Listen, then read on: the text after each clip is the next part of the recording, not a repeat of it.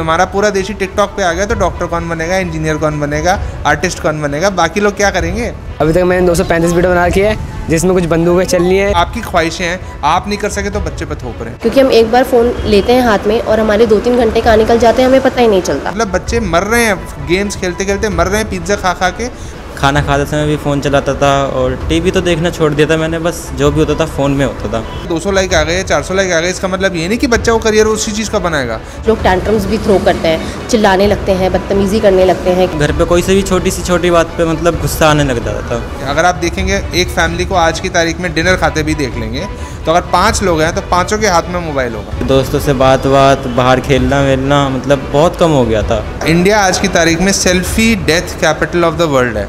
पूरी दुनिया में सबसे ज़्यादा डेथ जो होती है इंडिया में होती है सेल्फी खींचते खींचते आपका बच्चा कहीं बहुत ज़्यादा मोबाइल तो नहीं देख रहा? मोबाइल देखना एक बात है, और मोबाइल देखने के बाद उसको कहीं इम्प्लीमेंट तो नहीं कर रहा? या फिर उसका पर्सनैलिटी डिसऑर्डर तो नहीं हो गया? ये सारे ऐसे सवाल हैं, ऐसी बातें हैं, जो आपके और हमारे घर के जो बच्चे हैं, वो ये सब बार बार करके दिखा रहे हैं, और हम उनको देख भी रहे हैं। प्रॉब्लम ये आ रही है कि जिसमें एजुकेशन में इस उम्र में जो बच्चों की, का ध्यान पढ़ाई में होना चाहिए, वो सारा ध्यान उनका मोबाइल में है, अपने आप को संवारने में है, अपने आप को बेहतर तरीके से प्रेजेंट करने में है। तो इस समस्या का आखिर निदान क्या है? बच्चे क्यों पर्सनैलिटी डिसऑर्डर का शिकार हो रहे हैं? आइए चलकर आज इसी के ऊपर बातचीत करते हैं।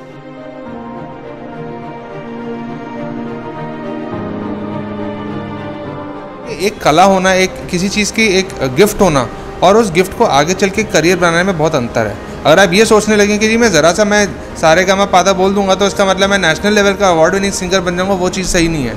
बच्चों ए ई आई ओ यू की खोज किसने करी? मुझे तो नहीं पता। अरे सिंपल यार गोल माल के तुषार कपूर ने ए या ए या इस चीज़ को चलते थोड़ा पेरेंट्स को भी ये सोचना चाहिए कि जस्ट बिकॉज़ सौ लोगों ने बोल दिया 200 लाइक आ गए 400 लाइक आ गए, इसका मतलब ये नहीं कि बच्चा वो करियर उसी चीज़ का बनाएगा। तो जो भी सोशल मीडिया पर देखता था तो उन सबको कॉपी करने की कोशिश करता था। और कुछ होती थी और कुछ नहीं होती थी। क्योंकि लाइक और व्यूज़ चाहिए थे। यार मैं तेरे को बोल रहा हूँ मैं नहीं आ सकता। नहीं आ सकता मैं। अरे क्या पागल आगल हो? कटिंग बना रहे क्या कर रहे हो भैया? मारने मार खाने थोड़ी ना आया हूँ तो आपको सिम्टम दिखेंगे कि वो बहुत ज़्यादा रेस्टलेस हो जाएँगे। उनसे एक तरफ़ बैठा नहीं जाएगा। बहुत इरिटेट होंगे वो। एंगर आउटबर्स भी करते हैं। कुछ लोग टैंट्रम्स भी थ्रो करते हैं। चिल्लाने लगते हैं बदतमीज़ी करने लगते हैं कि नहीं उन्हें फ़ोन चाहिए ही चाहिए। हमेशा गुस्से में रहता था डिप्रेशन में रहता था। जब भी मतलब घर पे कोई से भी छोटी सी छोटी बात पे मतलब गुस्सा आने लग जाता था। तो उसकी वजह से मैं मम्मी पापा या भाइयों को बहुत कुछ बोलने लग जाता था तो वो भी परेशान हो गए थे मेरे से। सारी अगर हमारा पूरा देश ही टिकटॉक पे आ गया तो डॉक्टर कौन बनेगा इंजीनियर कौन बनेगा आर्टिस्ट कौन बनेगा बाकी लोग क्या करेंगे? तो मैंने भी घर वालों से जिद करके मैंने फ़ोन मांग लिया। तो जब मेरे को फ़ोन मिला तो फिर मैं फेसबुक व्हाट्सअप या सोशल मीडिया पे ज़्यादा ऑनलाइन रहने लग गया। तो धीरे धीरे मेरी ये आदत हो गई। हर दो मिनट में हर पाँच मिनट में हर दस मिनट में उसे फ़ोन अपना देखना होता है कि उसमें क्या नोटिफिकेशन आई है है ना? देखिए जब आप मोबाइल पे ज़्यादा एक्सेसिवली काम करते हैं एक्सेसिवली कुछ गेम्स खेलते हैं आपको ऐसा लगने लगता है कि जो मोबाइल में है वही असलियत है। तो उस चीज़ के चलते उनको ऐसा लगने लगता है कि जो मोबाइल पे अगर कोई मान लीजिए किसी को गोली मार रहा है और उसको कोई प्रभाव नहीं पड़ रहा पुलिस नहीं आ रही कोई जेल नहीं हो रही तो उनको लगता है कि वो असल में भी ऐसा करेंगे तो कुछ नहीं होगा। तो एक बच्चों की सोच होती है बचकानी सोच होती है इस वजह से क्या होता है कि मोबाइल की चीज़ उनको लगने लगती है असली है। तीन चार घंटे फ़ोन के मैं रह ही नहीं सकता था। खाना खाते समय भी फ़ोन चलाता था और टीवी तो देखना छोड़ दिया था मैंने बस जो भी होता था फ़ोन में होता था। तीन घंटे से मेरा नेट नहीं चल रहा है। बताइए आप मैं क्या करूँ? तीन घंटे से नेट नहीं चल रहा है ओके ओके। तो मैडम घर का काम कर लो ना फिर कोई। और खान पान तो ऐसा हो गया बैठे रहते हैं मतलब बच्चे मर रहे हैं गेम्स खेलते खेलते मर रहे हैं पिज़्ज़ा खा खा के पूरे दिन इनके पिज़्ज़ा बर्गर पिज़्ज़ा बर्गर आते रहते हैं ऑर्डर कर देते हैं फटाफट मोबाइल ऐप में और खाना खाते खाते अपना मोबाइल करते हैं। ईटिंग डिसऑर्डर्स ऐसे हो रहे हैं कि वही बा- वही बात है कि इंस्टाग्राम पे फेसबुक पे आप मॉडल्स को सेलिब्रिटीज़ को फॉलो कर रहे हो उनकी बॉडी इमेज आप एक आइडल बॉडी इमेज क्रिएट करी हुई है फ़िल्म इंडस्ट्री ने तो उनको देख के वो लोग उनसे इंस्पायर होते हैं और वो लोग डाइटिंग्स करना स्टार्ट करते हैं। कि अगर आपका बच्चा 18 साल से कम उम्र का आपकी ज़िम्मेदारी है? अभी तो वो कॉलेज गया नहीं है। आपको पता होना चाहिए बच्चा क्या अपलोड कर रहा है क्या नहीं अपलोड कर रहा है किसको दिखा रहा है किसको नहीं दिखा रहा अश्लील है कि नहीं है वायलेंस है कि नहीं है?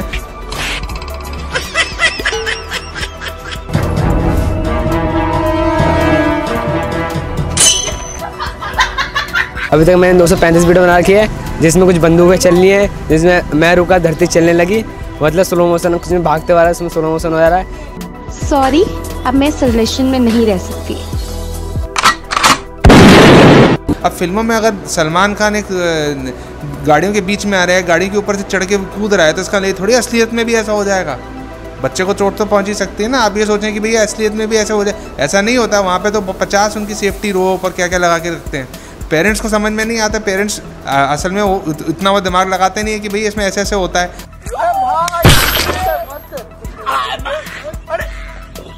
तो उन्हें लगता है कि हमारी लाइफ उनसे बेकार है। वो उनसे अपनी लाइफ को कंपेयर करते हैं।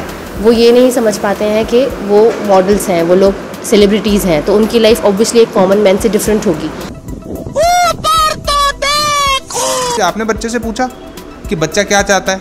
बच्चा ज़िंदगी में आगे क्या करना चाहता है? क्या पढ़ना चाहता है? क्या कोई दुकान खोलना चाहता है या कोई और किसी चीज़ का बिज़नेस करना चाहता है या एक्टर बनना चाहता है? आपको नहीं पता बच्चा क्या करना चाह रहा है? आप ज़बरदस्ती उसको थोप रहे हैं अपने अपना कि भाई आपकी ख्वाहिशें हैं आप नहीं कर सके तो बच्चे पर थोप रहे हैं। क्या होता क्या है फ़ोन चलाने से?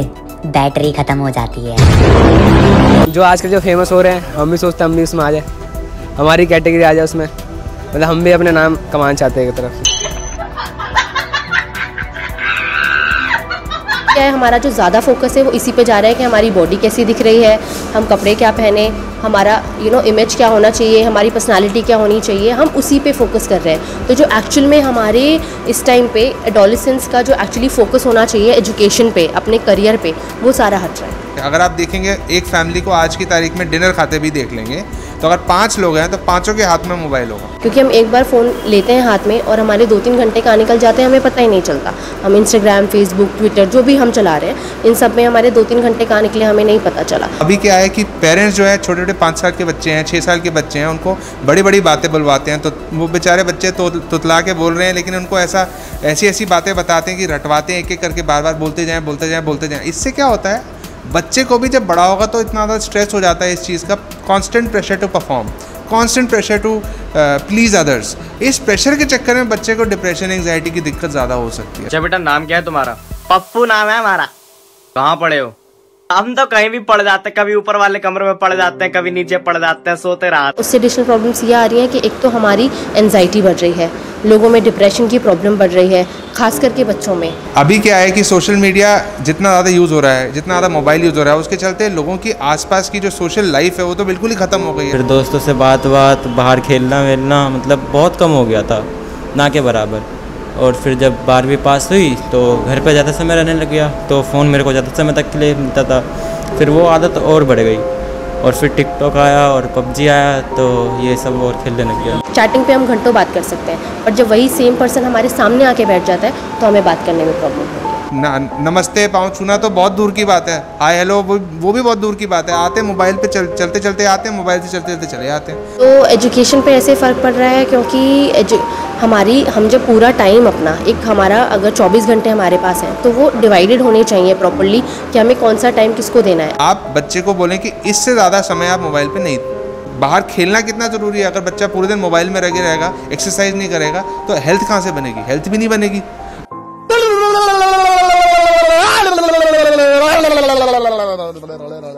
इंडिया आज की तारीख में selfie death capital of the world है।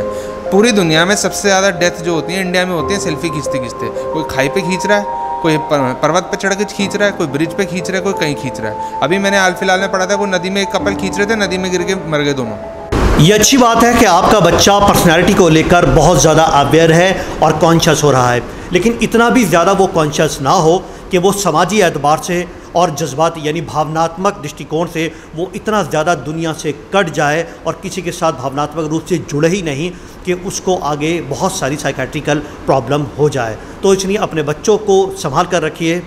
ध्यान रखिए कि कहीं वो मोबाइल की वजह से किसी पर्सनैलिटी डिसऑर्डर का शिकार तो नहीं हो रहा, क्योंकि बच्चे आपके हैं, आप ही को संभाल कर रखना है। कैमरा पर्सन रोहित के साथ मैं अकरम खान, न्यूज़ बास्केट के लिए।